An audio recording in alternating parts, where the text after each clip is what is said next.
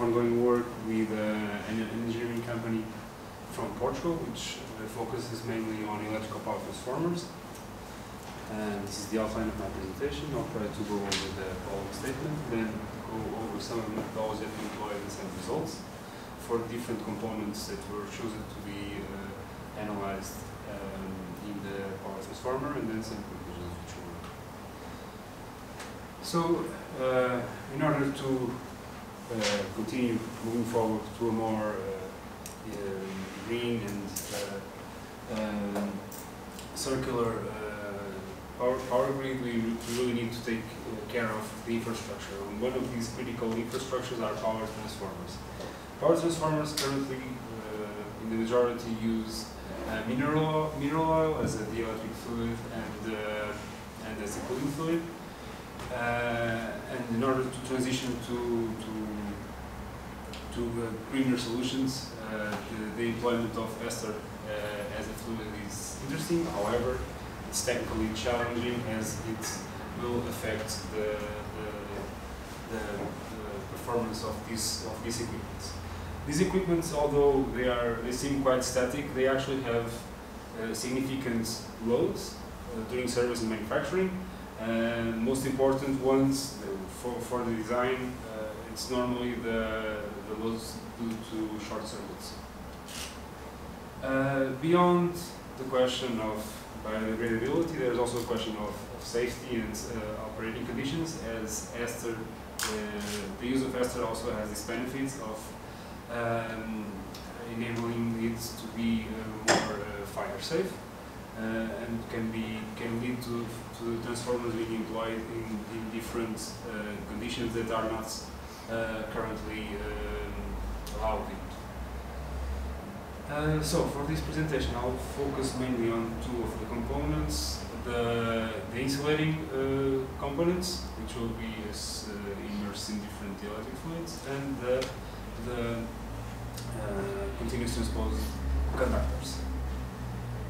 Uh, for the insulators, we tested both in uh, metal insulators and extra hard uh, pressboards, which are uh, more uh, uh, old school or more common, uh, in two different thicknesses, and we tested with different impregnation. The current standard of mineral oil and also ester, and both in a new condition and the age condition. The aging was done through um, submitting the, the, the, insulators to uh, higher uh, higher temperature and measuring the degree of polymerization until it was found out that it was similar to what uh, a power transformer will have after I think it was 50 years of service.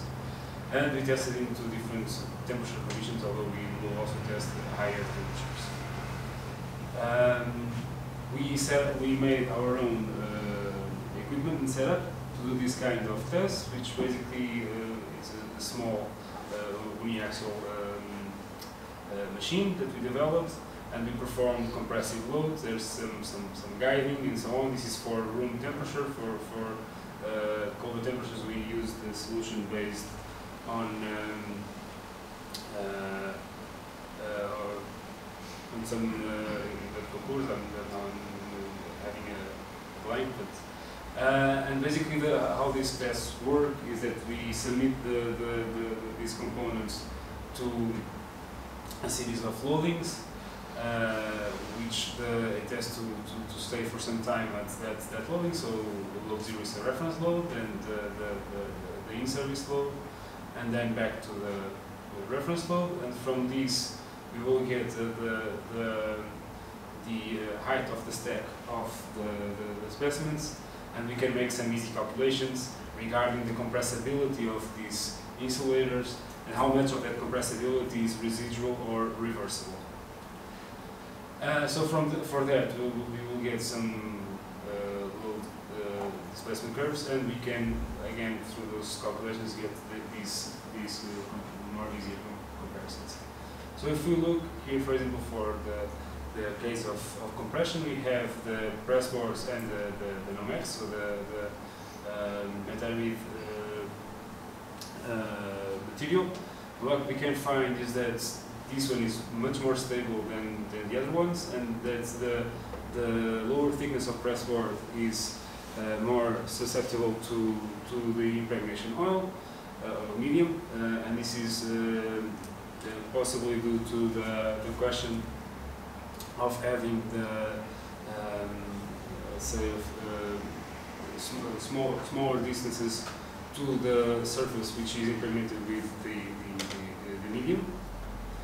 And here we can see the, the comparisons in terms of, of reverse, reversible compressibility. Uh, the, you can see here more clearly the difference between the, the Nomex and, and the other ones, uh, which ends up like uh, being more uh, uh, reversible due to the, the chemical uh, characteristics of these of these components. basically, compressive reverse, reversible compressibility ends up being the reverse of the re residual. So uh, you can just, the, the, graphs for the residual compressibility are pretty much the opposite of these ones. For the conductors, they are composed of uh, some copper windings, which can be of different uh, grades of, of, copper. They have in between them uh, an, an, epoxy, which is applied in a B stage, so this means that it's semi-cured, and then needs to be fully cured during manufacturing, and then it's uh, uh, covered by an insulating wrapping. The first thing that we had to, to characterize was how much, what was the bonding strength and how much it varied with, with the, the, the manufacturing conditions. For that we developed um, a special apparatus which will uh, allow us to transfer uh, tensile load into, into shear, so almost like a thick shear test. And we tested different curing conditions according to uh, three different uh, manufacturers uh, in order to, to, to compare. Uh, this is the, the setup. So basically, when we will have um, uniaxial uh, tensile load, we will end up having a, a, shear only load in the compression without any, any bending. Uh, and this is the typical graph that we will get, some shear displacement curves. here we have for three different um, uh, conditions.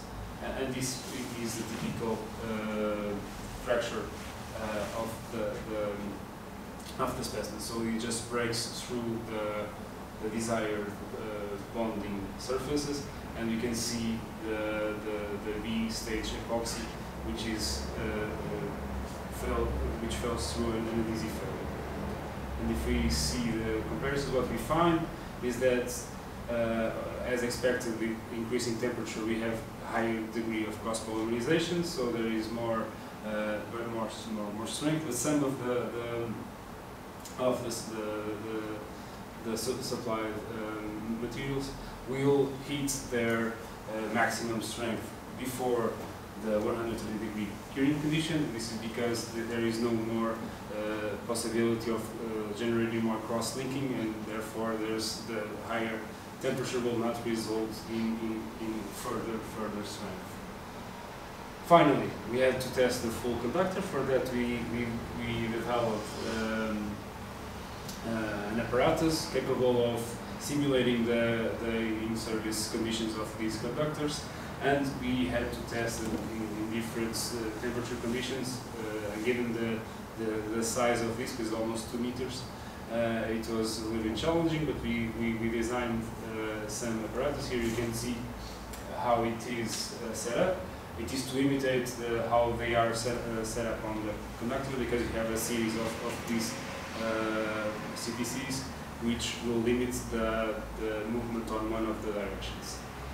Uh, and the heating, uh, we had some insulation and the heating was done through a heat gun and controlled through a PID controller.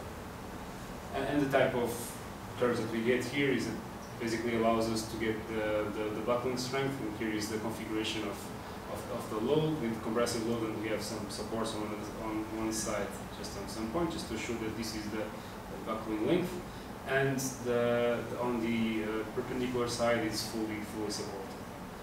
And, and what, what we get is that uh, we find that, of course, temperature has a big effect, and the more worryingly is that for these extreme uh, temperatures, basically the, the conductor will become almost like, let's say, like butter. But um, I have to remark that uh, although these temperatures can be uh, hit during uh, short circuits, normally it's very fast uh, heating uh, events, so the, the conductor is not subjected for very for very uh, long time to these uh, uh, high temperatures. So uh, we then opted out to do tests uh, in the intermediate uh, temperature just to, to make sure of what was the the um, uh, effect of the temperature in the buckling in the. So um, to conclude, we developed a series of equipments and, uh, and methods to uh, uh, assess the different components of the electrical power transformers. Regarding the, the pressboards and the, the insulating materials, we found that the meta-aramid uh, uh, had lower compressibility uh, and uh, more reversible part of that compressibility. Uh, regarding the, the, the, the conductors, uh, regardless of the, uh, uh, the any of, of them, the, of course, uh, the higher curing temperature resulted in better performance. Uh, uh, and uh, buckling performance was uh, highly sub, subjected, highly sensitive to, to temperature.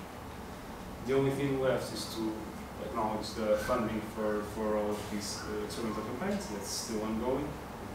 Okay, so thank you. thank you. Thank you very much. Uh, do you have any comments, any questions that you would like to, to put to the presenter, the speaker?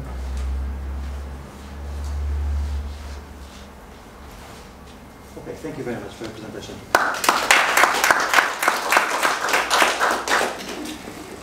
So the next speaker will be Danielle